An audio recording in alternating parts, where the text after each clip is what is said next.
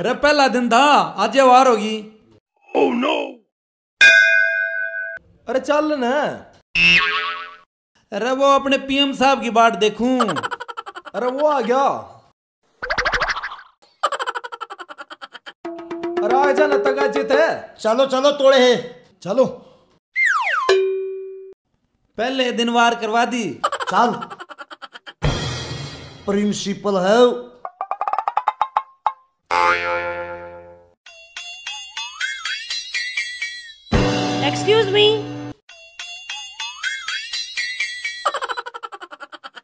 शर्मा क्यों रहे हो? एक मैडम को कुकुर शर्मा जी मन छोरी आता बतला दिया ना शर्म आया करे। शर्मा तो बाद में लेना। पहले मुझे ये बताओ कि प्रिंसिपल का ऑफ़िस कहाँ है? मैडम जी दस डंग चाल के कोनी वाले हाथ में है।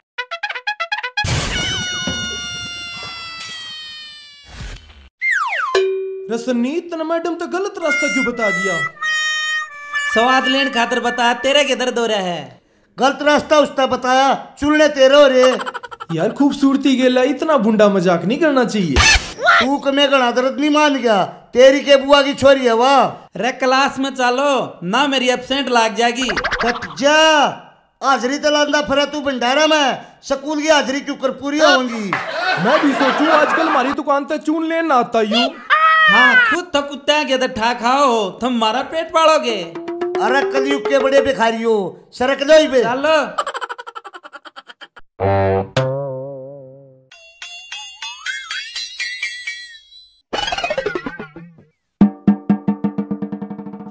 अरे मैडम किसे ढूंढ रहे हो आप? मैं प्रिंसिपल का ऑफ़िस ढूंढ थी और दो तीन बदमाश बालका ने मेरे तक गलत रास्ता बता दिया। चलो कोई नहीं आ जाओ मेरे साथ। राम राम सर जी। Ram Ram Jogi Ram. Good morning sir ठीक है सर जी मैं तो मैडम ने छोड़ना आया था। मैं चलूँ। Okay please take your seat thank you sir sir मैं Pinky English teacher miss Pinky आपका हमारे शिक्षा के मंदिर में स्वागत है। आज आपकी ज्वाइनिंग है। उसके बाद आपका पहला पीरियड 11 बजे स्टार्ट होगा। आपके पीरियड्स की लिस्ट आपको क्लासरूम में मिल जाएगी। ठीक है सर। Okay sir.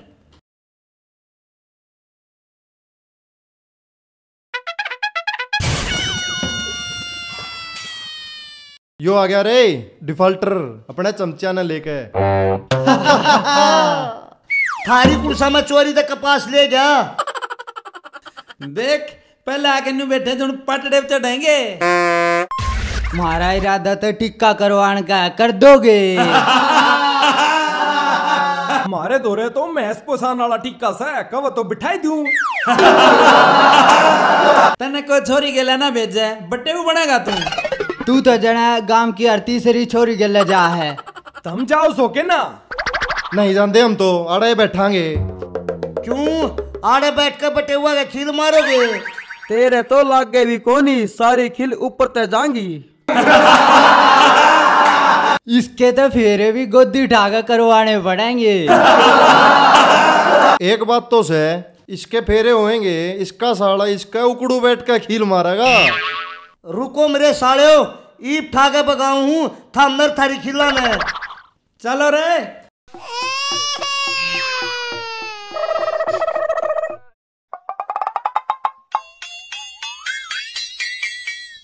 अरे मारे जूते चोरी ना करियो पाछे बैठे बैठे। तुम भी कौन सा अपने ले रहे हो? किते न किते तो चोर कह ले आए होगे। थारी कुसा बुआ सेल ला रही थी चौड़े के गए हैं। देख रहे दोनों की शक्ल मतलब है जणू दोनों सगी बाण है। कोई ना भाई कल तो तेरी भी अंगली पकड़ कर ले आवांगे।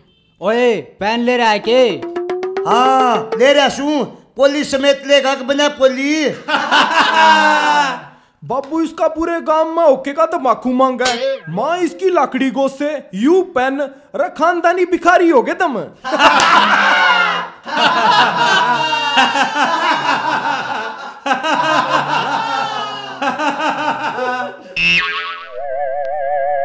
पर टिक नहीं बैठा जाता क्लास की तो आंगनबाड़ी बना रखी है। फिर पंजीरी कद बट्टेगी जी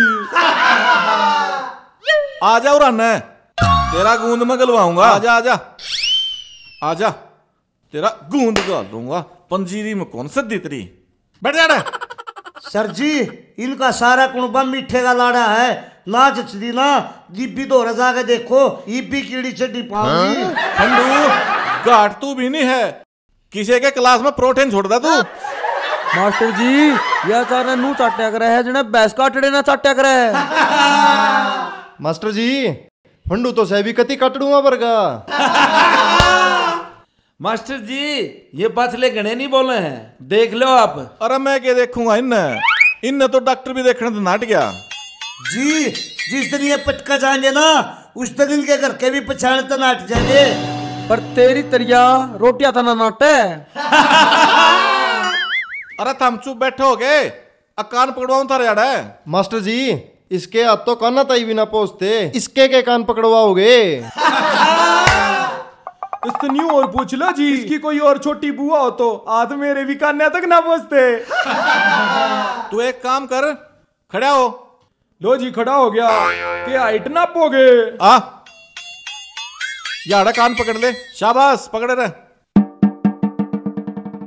ये सारे छोरे जमा छटाई करके ले रखे इस क्लास में। ये छोरी भी तो है देख कितनी शांति से बैठी है। हाँ सीमा। घर में ठीक है सारे? हाँ सर कति ठीक है। और तेरी मम्मी? इब तो ठीक है सर। क्यों? पहले के पथरी का दर्द उठा करता। हाँ रीना तू बता घर परिवार में ठीक से है राज़ी खुशी सारे? हाँ सर। और तेरी माँ ठीक से है? वो भी ठीक है।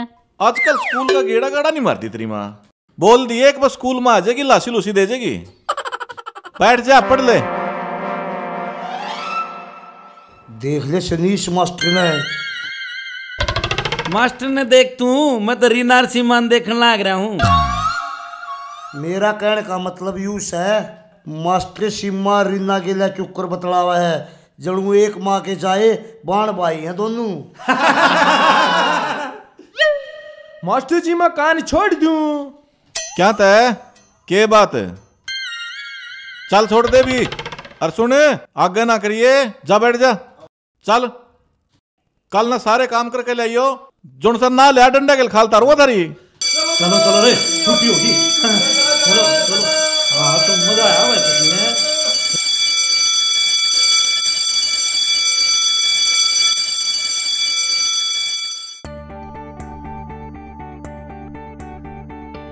सर, यो राजकुमार अपने बड़का का एडमिशन करवाने खातर आ रहा है। ठीक है जोगी राम कर देते हैं एडमिशन हम्म आओ भाई, बैठो।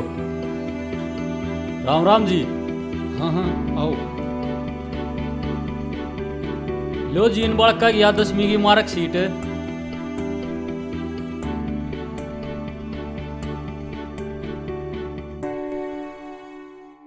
नंबर तो दोनों बच्चों के अच्छे हैं।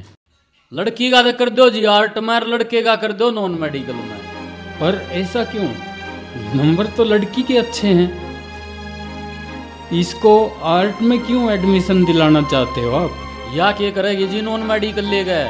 इसका प्लस टू पाछे ब्याह करना है। आप तो खुले लड़का और लड़की में भेद कर रहे हो। या पढ़ लिख कर नौकरी लाग भी गई तो आग लिया गए, तनख्वाह देगी मारे के कमाओगी, मास्टर जी। लड़का तो जी एक ही है पढ़ लिख कर नौकरी लाग जाएगा बुढ़ापे का सारा बन जाएगा। यह सोच तो हमारे समाज ने उठन नहीं देती। लड़की शादी के बाद दो घर संभालती है और लड़का एक। वो भी संभाल पाओगा कि नहीं? और रही बात लड़की की वो शादी के बाद ऐसा नहीं है कि जाके अपनी ससुराल में बैठ जाएगी। वो भी पढ़ना चाहती है और पढ़ाई के बाद कुछ बढ़ना चाहती है। उसको भी मौका दो। ठीक है प्रिंसिपल जी मेरा बात समझ में आ गई। और न्यू करो दोनों बड़का का एडमिशन नॉन मेडिकल में कर दो। ठीक है प्रिंसिपल साहब धन्यवाद। ठीक है जी धन्यवाद। हाँ भाई राजकुमार तो समझ गया। इब तुम कद समझोगे?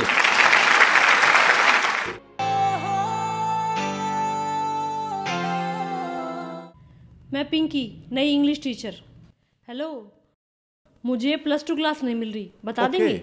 हाँ हाँ बिल्कुल क्यों नहीं? मैं आपको लेके चलता हूँ। चलिए।